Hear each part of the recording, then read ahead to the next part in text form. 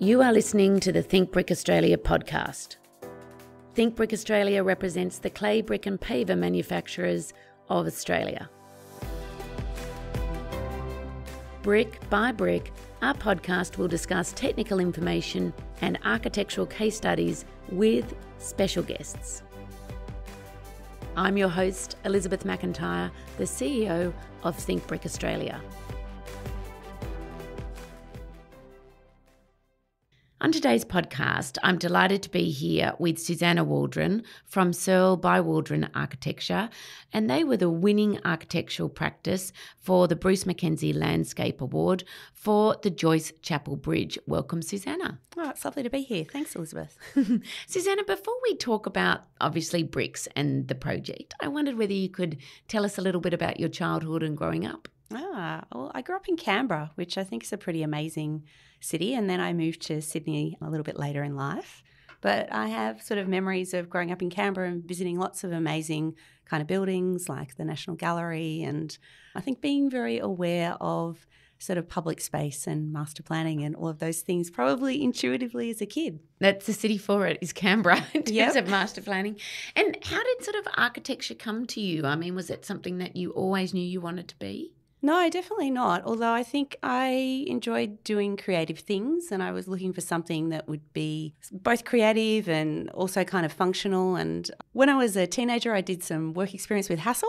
I went to do work experience with the landscape architecture team, who I think were doing some freeway landscaping at the time. And I thought, oh, I'm not so sure. And then I visited the architects next door and it felt like a good fit. So, oh, wow. yeah. And what was your university experience like for you? Was it sort of everything that you imagined about what you would learn in architecture? I started my university studies in Sydney. So I went to UTS in the late 1990s, and that was a very different kind of course. We used to work four days a week in practice and do study at night and on the weekends. So it's quite an intense experience. For me, I worked for a firm called Peter Willett Architects, a very small residential practice in yeah, sort of in the inner west. Mm-hmm. And we did a lot of like alterations and additions to houses. And that was quite an interesting thing because I guess from a very kind of initial period, I was working on real projects. Mm. So let's go back. So with UTS, you were working as well as studying the four days. Yeah, yes. so it was really intense experience. And I think that after my second year there, I reflected that I wanted more time to design and I wanted more time to think about the kind of role that I could have conceptually in mm-hmm. terms of thinking about projects. And I moved to Melbourne and I went to RMIT for a few years and I really enjoyed that experience, which was very different. Yeah, right. And did you travel at all during that time when you were at uni? I was a big traveller. Okay. So I was one of these terrible people who would look at the summer holidays as an opportunity to like get out of Melbourne. Yes. And would usually go on like a two or three month adventure actually, doing all sorts of things. I think I backpacked from uh, Beijing to Bangkok one year. Wow. And um, I went across the Indonesian archipelago another year through Sumatra and from, you know, Lombok and the whole length. So I found those things really inspirational and I really mm. enjoyed the break as well. And how did that inform, I guess, your view? You're obviously seeing so many different buildings and architecture designs and culturally. How did that inform your design going forward? Yeah, it's been a really interesting process, I think. When I analyse it, I think a lot of our work comes back to rather than a style being really observant about place mm. and I'm really interested in like cities. Like if I could choose to travel, I'm probably a person who enjoys an urban environment more than a natural environment in some ways. Mm-hmm. And I love this observation of like cities and pattern and texture and materials and the way colors are used and the way light bounces around urban environments. So with our work, I think often it starts with this act of observation of looking at a place and then trying to kind of transform some of the things that already exist there into something else. Mm, and you certainly did that in your Joyce Chapel Bridge project. But before we talk about that, so talk to me around how did Searle and Waldron start? How did that come to? I met my partner Nick Searle at UTS actually. Originally, we were friends for a few years and we started doing competition together actually. I think it was a House of the Future that we did for the Melbourne Museum a long, long time ago. But the friendship developed into a relationship. After we finished university, we both went and worked overseas and lived for a couple of years in the Netherlands and then in London. And towards the end of the time we were in London, we sort of started thinking about working together. Okay. And we did a competition. So the competition was for a pretty large scale, like a $100 million museum in China, in Shenzhen. Uh, sort of a contemporary art gallery and planning museum, which is a strange combination. And we entered this kind of just in our spare time, in our weekends, and we managed to get shortlisted. So through to the final four on this big comp. And that was really the start of the practice. Wow. Um, yeah, Nick got some time off from his work. I kind of quit my job. And although we weren't successful, we sort of got a bit of money from the comp. We got this amazing experience. And I think we got this kind of motivation to work together. And it was a real test of kind of being able to collaborate, not just as, yeah, professionally as well. And it's, I mean, I always admire people that do, and so many architects do decide to start up their own practice because I, I think it's such a courageous thing to do. In those early years outside of that competition, is there a particular project that you look back and feel defined where you were headed, I guess, as an architectural practice? So after we sort of started the practice, Mm. it was a pretty hard few years where we didn't have a lot on. We had pretty poor timing in hindsight. So we sort of did that competition, I think, in 2007, 8, 2008. And then it was sort of global financial crisis. So we moved back to Australia and I don't think there was any work for us to do. We managed to win a project a couple of years later and we did a lot of teaching actually in that period at RMIT, which are amazing supporters of us as young emerging practice people. And the project we were successful in winning was another gallery project at the Art Gallery in Ballarat. So mm-hmm. it was a very small project and a very underwhelming brief where they said, We just want a room on the back of the gallery so we can hold events. And we went into this pitch with a client saying, maybe you can do more than that and be quite aspirational about this project. And we put forward this idea to them that the room could actually transform the adjacent plaza that was really underutilized and become a stage so that it could actually host kind of community events as well and then have curtains that would draw around so it could also be quite intimate and enclosed. And I think maybe it could pick up on some of the building types that we observed in Ballarat where there's like this beautiful kind of historic building types like town halls, bandstands, mm.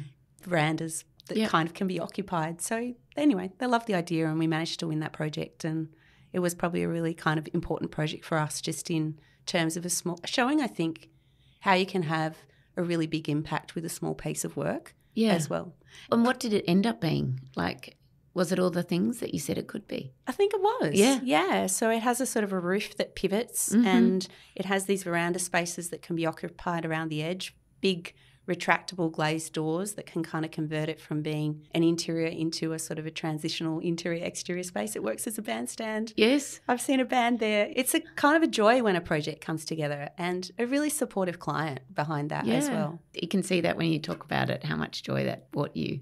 Yeah, and it was a nice launching pad for us into public work as well. So I think there is, you know, sometimes there's a challenge when you're a young practice. We didn't really come into our careers, I guess, with the backing to do a house for family or Yes. those sorts of projects couldn't launch us. So we were very much doing sort of competitions and bids. Mm-hmm. And it was nice to find a project that was right for us and it was the right scale and it allowed us to sort of, yeah, start our practice actually doing public work, which in some ways was a little bit unusual. Mm. And I've read in some of your background that you really enjoy small projects about the impact that they can have. So maybe could you tell us how the Joyce Chapel Bridge project came to? We have been doing a number of feasibility studies for different kind of councils and groups over the years. And one of our clients from one of those organisations had moved to the Greater Metropolitan Cemeteries Trust. So they'd approached us to do some feasibility studies to look at mausoleums and to look at different uh, gatehouse building for the cemetery. And then they also approached us to look at the replacement of this dilapidated bridge that existed in Fawkner Cemetery. So we just sort of took on all these opportunities with them as a client to do mm-hmm. smaller projects. And it's the first project we've done for them that's been completed and built. Not the first one we started with them, but it's a really beautiful site. Fawkner Cemetery is completely heritage listed. It was designed with these ideals of the Garden City movement. And it's a very kind of iconic site. But the bridge that was already there had sort of major structural problems and needed to be replaced. And the client had gone to a structural engineer and said, just design us a bridge. And they'd done this incredibly functional concrete thing that had mm-hmm. no joy, no beauty, no, no poetic experience. And then realised that Heritage Victoria said, I don't know, we're not sure this is right for the context of the place. So it was a beautiful brief. Yeah. And so, I mean, I think I know the answer to this, but why brick? We actually had to design something that would mm. last over 100 years. So there was a real longevity requirement for this.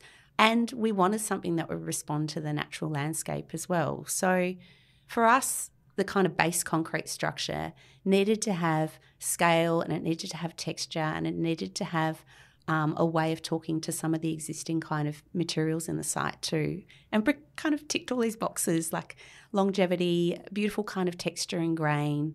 It allowed us to sort of manipulate the way we used a material as well. So the bridge has shifts in height and porosity. We were able to have sort of hit and miss brickwork mm. to filter light, curved brick seats that people can sit on. And I think I like to think of it as we tried to build a piece of infrastructure that's also just very poetic and beautiful and is, in a sense, kind of a memorial, if you like. And I think that's what we loved about it with the jury, just all of those little aspects of it. Was there anything whilst it was being constructed that surprised you about bricks?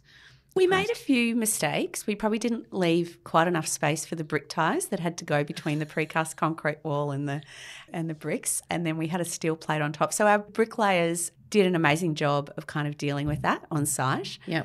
I think just the modularity of brick was something it's obvious, right? That that's something really great to work with. Mm. But probably when we started the project, I didn't anticipate that we would actually draw every single brick, but we did. You know, Jack from my team did an amazing job documenting this building and designing this building too. And because we wanted a gradation of colours and we wanted bricks that hit and miss, and we wanted these very precise layouts. Mm. Yeah, every single brick was drawn and documented.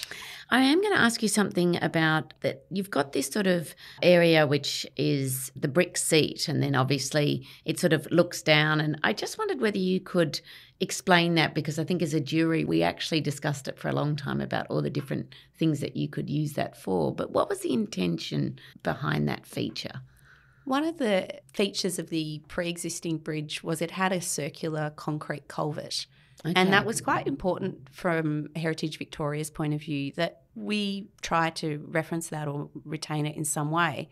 We also were designing a bridge with current code requirements that needed to meet Melbourne water mm-hmm. requirements, mm-hmm. where you can't just put a circular concrete culvert in the middle of a creek anymore because things get stuck in it. So for us, we started to think about how the bridge could reference this beautiful circular cutout. There's also something I think really nice about a circle some of the works we've been doing on other projects in cemeteries, we keep coming back to this this kind of idea of continuity. It's an idea of calmness. And we wanted the experience when you walked across the bridge to be one where the creek was revealed. So there's a stillness to the water that moves underneath this bridge. It's sometimes quite still and sometimes it kind of has slow ripples and then sometimes it's kind of faster. Mm. And there's something for me in the way that water moves as well that's very kind of calming and reflective. People cross this bridge to get from the car park to the chapel, and it's usually used for memorial services or funerals. Mm-hmm. And so the journey is one where you kind of want people to go from that sort of stress of getting to the chapel on mm. time. Mm. To being really calm and reflective. And so, providing these seats at this kind of midway point across the bridge was also a place where you could potentially meet family and friends and mm. look at the water and be calm. Yeah, it's it's a beautiful feature. How long did construction take? Construction on this one, it was during COVID. Oh. And also because the chapel was in services every day, they had to actually stop work during each service. So wow. it was a very, quite a long program, close to a year mm-hmm. with stop start work. So really tricky in terms of all the restrictions, but the builders did an amazing job. They've been doing infrastructure projects, I think, for several generations. They're family contractors. And they wrote to us after the project and they were so thrilled. They're like, it's the most beautiful bridge we've ever built. And oh. they were really happy to be part of that. So it's good. Beautiful. And we were just talking before the podcast about the awards program. And maybe if you could share a little bit of your experience with it. We were really excited to have a project we could actually enter in the, in the awards. It's mm. been on our radar for a while and it mm-hmm. just hasn't been a project in the practice that's been the right fit. For me, it was a really simple process as well. I was actually in Brisbane holidaying at the time. And, you know, we had some beautiful photographs taken by Peter Bennett that we were able to put in for the submission, but it was a really easy process. And we wanted to be part, in a way, of this kind of community of architects that we know were quite passionate about this awards program too. So, oh, it's been great. And Suzannah, given the amount of work that you do with public works, where do you see the role of the architect or architects with what we've got to face with the climate going forward in the future? What role do you see architects play in that? I think we've got a huge role to play in these things. I think every project we do now, that question about sustainability and how we kind of make the building as sustainable as possible is just something that's part of the brief. We often look for how we will choose materials that also have a long lifespan. Mm-hmm. So, not necessarily, they might not always be the most sustainable materials, but looking for this balance about life cycle and how the longevity of buildings is quite important. We also try to push our clients, I think, to be more aspirational with ESG initiatives if they're not already. But mm-hmm. a lot of our clients are very keen to do that. So, following on from the bridge, we've been doing another project with that same client at mm-hmm. the Cemeteries Trust, and we're doing sort of a depot and staff headquarters for them. So, quite a large building too. Mm. And on that project, the, that client has aspirations to sort of become carbon neutral within the next 10 years. And so the building is very sustainable in terms of like using mass timber and having a large array of solar panels. There's also strategies around creek naturalisation and things on the adjacent land. Mm. And so trying to look at it really holistically too. Do you think that type of discussion has changed from, say, a decade ago in terms of building and, and the thought process behind how a building is going to perform? Yeah, absolutely. Like, I think everybody is much more aware that this isn't a nice to have, it's an essential thing to do. We also find that, you know, some of our clients base their ESD budgets on part of the building costs. And I think that's a really good thing to do as well. To say, mm. well, if we are building a, you know, $3 million sports pavilion, we need to be setting aside this percentage of the budget to do these things. You mentioned that you lived in the Netherlands. How long did you live there for? Uh, a couple of years. I um, worked there, mm. mostly in Rotterdam. I worked at OMA, which is a fairly kind of well known architecture practice, and was a really interesting experience for me working on a range of like public projects and commercial works and competitions. What would you say out of that experience? Was there anything that informed how you approach your design? Oh, 100%. I think travel and being able to work somewhere else as a young architect is so kind of inspirational. I traveled a lot in Europe during that time as well, and I just got exposed to lots of different architects from lots of different places too. So obviously lots of Dutch architects, but also that was a very international office and people from across the world were kind of working there. So do you have a favourite brick building? I have some memorable ones. Talking about travel, I guess the first project I went to where I felt totally immersed in brick was probably Louis Kahn's IIT campus in Ahmedabad in India. Yes. So a little bit off the beaten track, and it is such huge kind of collection of these arched red brick forms, and it's kind of amazing to explore. So that was an extremely memorable project for me, and I think just I felt quite challenged by it at the time, even though it's not a recent project because it was almost an overwhelming use of brick, but I feel like the impact of that single materiality is just great. Mm. Suzannah, you've sort of outlined, and I've been, I really enjoyed hearing about how you started out and your approach. And as you said, a lot of architects get that friend of the family or family member that gives them a house or something to design.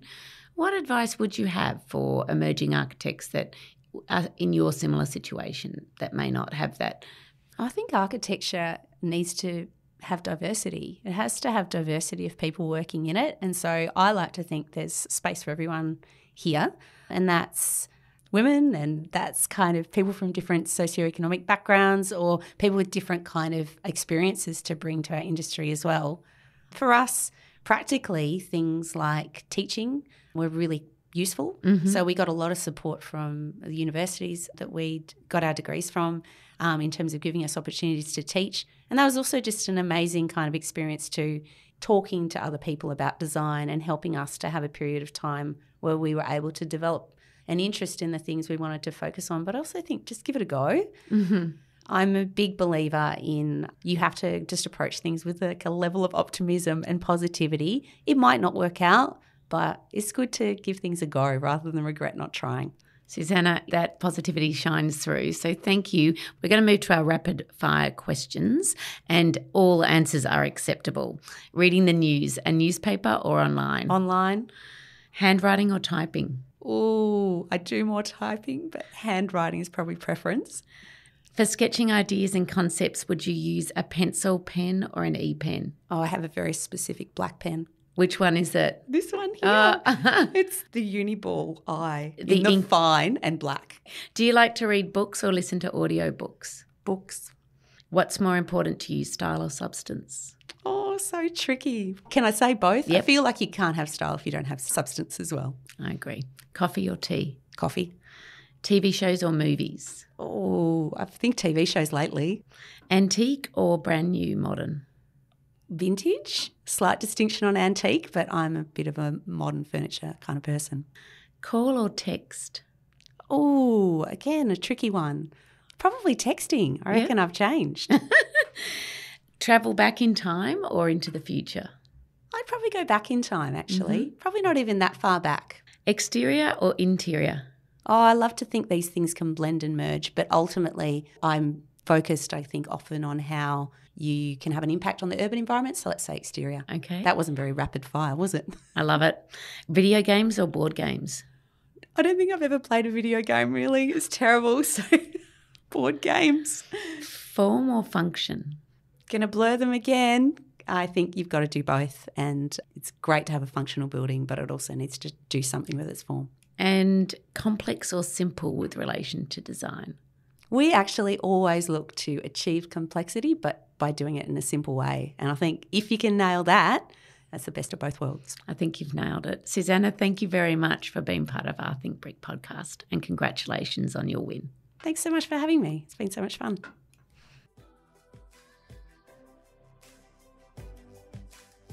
If you have enjoyed this podcast, please follow, rate, and review our podcast. We are always looking for new ways to think brick. If you have an idea of what you'd like to hear about, there's a link in our show notes to let us know.